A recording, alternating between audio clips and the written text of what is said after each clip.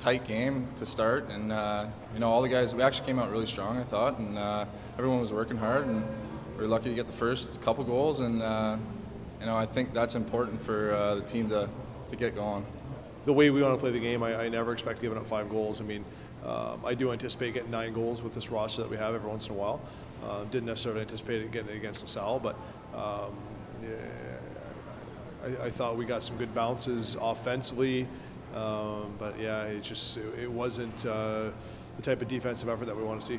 I think, it's better, uh, you know, having a every team has a slide at one point in the, in the, season, and I think it's better to get it over with now. And it's especially important that uh, you know we got it out of the way before before the break and having to go uh, into it after the break. So uh, yeah, I think it's really important for sure.